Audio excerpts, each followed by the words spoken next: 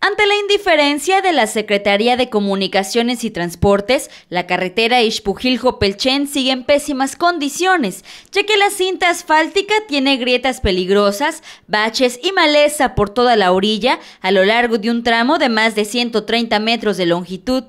No obstante, el tramo más abandonado y peligroso es el tramo Ixpujil-Solaguna, ya que ninguno de los letreros se alcanzan a ver. Los pobladores y visitantes hicieron un llamado a las autoridades municipales para darle mantenimiento a esta principal vía y evitar así posibles accidentes.